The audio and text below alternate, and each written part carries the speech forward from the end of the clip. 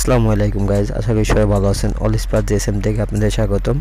আমরা আজকে Samsung FRP টুলসের একটা টুলস ওপেন করব। টুলসটি হলো টিএফটি এই টুলসটি স্যামসাংয়ের জন্য খুব ভালো সাপোর্ট করে। যাদের যাদের ডোঙ্গল অথবা ডিভাইস মোয়েস নাই, তাদের জন্য এই টুলসটি টুলসটি সম্পূর্ণ টুলসটি ক্যারাক এটা কোনো সাইড ইফেক্ট নেই।